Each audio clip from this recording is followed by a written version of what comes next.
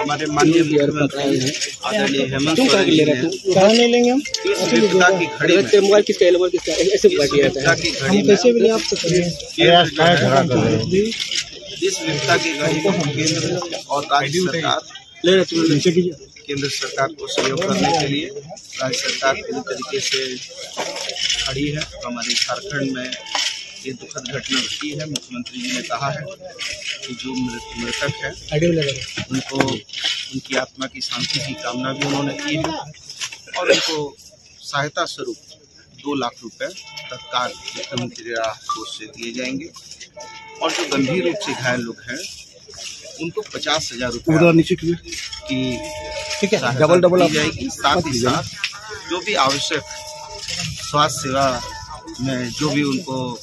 इलाज संबंधी ज़रूरत है, उसको भी फुलफिल किया जाएगा। और यदि केंद्र सरकार या रेल मंत्रालय को यदि झारखंड सरकार से इस विपदा की घड़ी में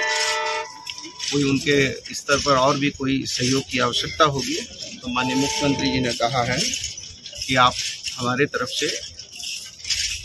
ये उनको आश्वस्त करके आइए रेल मंत्रालय की रिपोर्ट होगी और उन्होंने माननीय मंत्री दीपक बिरुआ जी को, माननीय विधायक दशरथ गगराई जी और मैं खुद, हम लोग तीनों, आप जानते हैं कि विधानसभा सत्र चल रहा है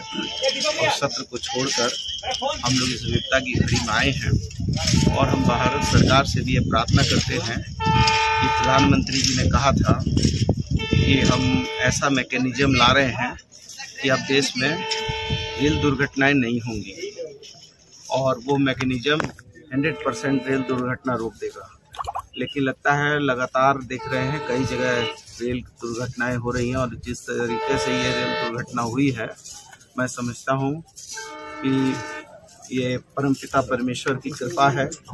और बाबा भोलेनाथ का सावन है, उनकी असीम कृपा है, जो इतनी बड़ी दुर्घटना में भी जो है, बहुत बड़ा जो है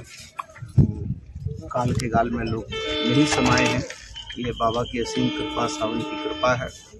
और हम लोग पूरी सहयोग करने के लिए तैयार हैं। हमारे डीएम साहब, एसपी साहब, हमारी पूरी प्रशासन की टीम लगी हुई है और चकत्तरपुर भी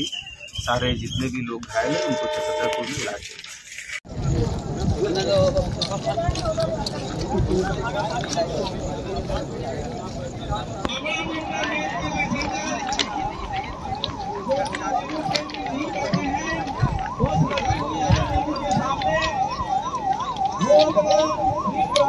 ट्रेन के सामने में बस लगी हुई है।